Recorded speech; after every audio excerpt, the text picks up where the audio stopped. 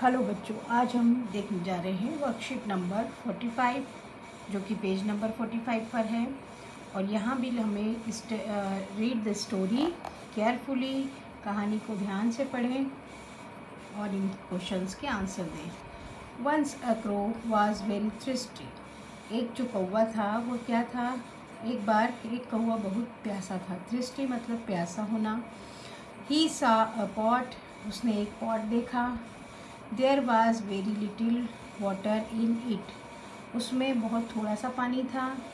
The का crow could not reach down the water जो crow था, वो कहाँ तक पहुँच नहीं पा रहा था। रीच मतलब पहुँचना। पानी तक वो नहीं पहुँच पा रहा था। ही ड्रॉप्ड सम स्टोन्स उनने क्या किया? कुछ पत्थर ला करके उसमें, किसमें डाले? पॉट के अंदर डाले। The pot in the pot into the pot the water came up पानी कहाँ आया? ऊपर आया। And the water and flew away happily है ना? तो ये जो एक पोएम भी है, इसे हम पोएम की तरह भी हमने सुना होगा कि एक कौवा प्यासा था घड़े में पानी थोड़ा था, कौवा लाया कंकर, आया ऊपर, उसने पिया पानी और ख़त्म हो गई कहानी। इस तरह से आपने ये पोएम बचपन में सुनी होगी। तो हम इसी कहानी को आगे बढ़ाते हुए, आइए हम देखें इसके क्वेश्चन आंसर्स किस तरह से करना है। नाउ आंसर द क्वेश्चन अब प्रश्नों के उत्तर दीजिए। Fill in the blanks help the box ये बॉक्स की सहायता से इसमें जो शब्द दिए गए हैं, इनकी सहायता से हमें इनमें फिलअप करना है। तो once a was very thirsty कौन था? प्यासा कौन था? तो जो क्रो था, वो प्यासा था। तो यहाँ पर ये जो क्रो लिखा है हम यहाँ पर जो ये हमें यहाँ पर फील करने के लिए दिया गया है, रिक्त स्थान है तो यहाँ पर हम क्या लिख देंगे? Crow C R O W crow है ना? इस तरह से हम लिखेंगे। फिर नेक्स्ट है ही सा क्या देखा उसने? अ पॉट ही सा अ पॉट पॉट की स्पेलिंग लिखेंगे P O T pot next ही पुट सम क्या उसने डाले? कुछ उसने क्या डाले? यहाँ पर देखिए सम स्टोन्स तो हम यहाँ पर स्टोन की स्पेलिंग लिख देंगे. S T O N E S stones ठीक है? फिर द केम अप तो क्या आया ऊपर? पानी जो है या वाटर क्या आया? ऊपर आ गया. है ना? तो क्या लिखेंगे? द वाटर यहाँ पर क्या जाएगा?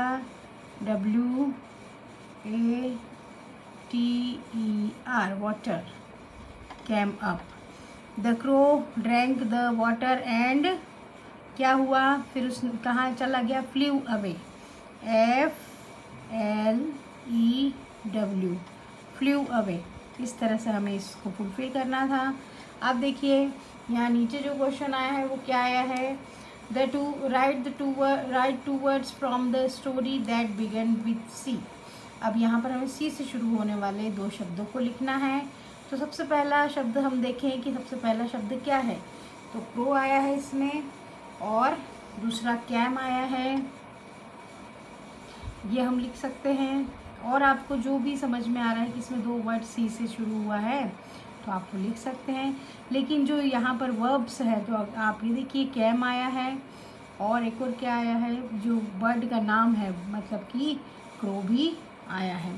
फिर इसके बाद अगर हम देखें तो क्रो कुड ये सारे सी से शुरू होने वाले हैं। तो हम यहाँ पर क्या लिखेंगे? सबसे पहले C R O W crow and दूसरा कौन सा है? केम सी ए एम ई कैम जो है वर्ब का सेकंड फॉर्म है, जो कि हमें यहाँ पर बताया गया है।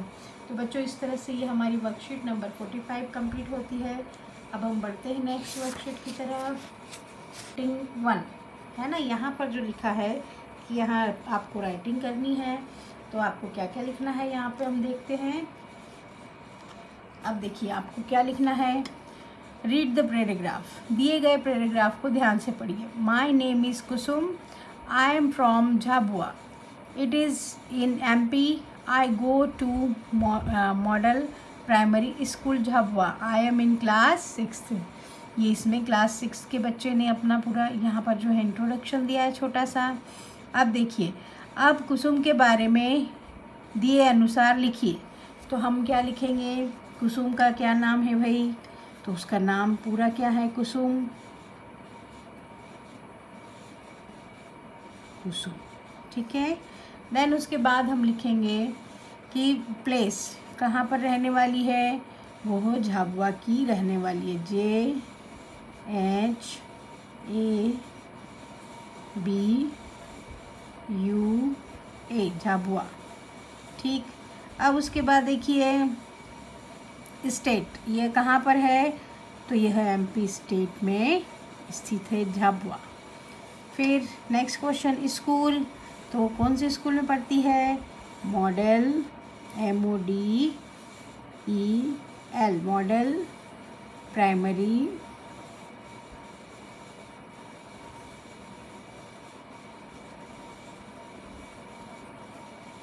model primary school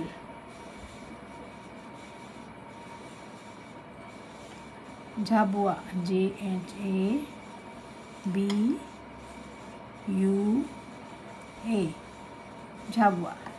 फिर किस क्लास में है? तो वह सिक्स्थ क्लास में है। ये उसका इंट्रोडक्शन हो गया, जो छोटा सा हम बता सकते हैं कि भाई my name is Kusum. Play मैं कहाँ रहती हूँ? अगर पूछते हैं वेयर डू यू लीव तो आई लीव इन इंदौर फिर विच इज़ द स्टेट तो एमपी और कहाँ पर स्कूल है? मॉडल या प्राइमरी स्कूल झाबुआ।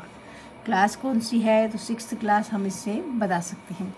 अब देखिए वर्कशीट नंबर फोर्टी सेवन यहाँ देखिए कि now write about yourself हमारे खुद के बारे में हमें कितने छः वाक्य लिखना है।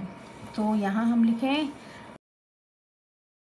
यहाँ सेंटेंसेस आपको अपने बारे में लिखना है सिक्स सेंटेंसेस इसमें आपका नाम आपका, आपके फादर का नाम मदर का नाम, आप कहाँ रहते हैं, ये सारी बात, सारी सेंटेंसेस फुलफिल करना है। मैं ये सेंटेंसेस ऊपर चार्ट में जो है, उसमें से फुलफिल कर रही हूँ, लेकिन आप अपने खुद के बारे में लिखिएगा।